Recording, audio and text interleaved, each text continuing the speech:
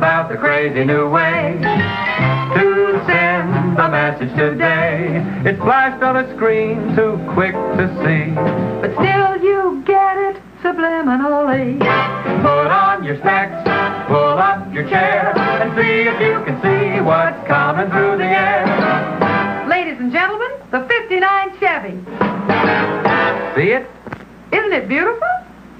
Some car, huh, folks? That was the 59 Chevy just then. All new, all over again. In case you missed it going by. We're gonna give you all another try. See it? Now bet you've seen the new Chevrolet. In a somewhat subliminal way.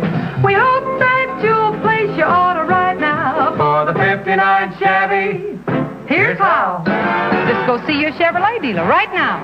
The 59 Chevy's due out Thursday, October 16th. But you can get the details and place your order in advance.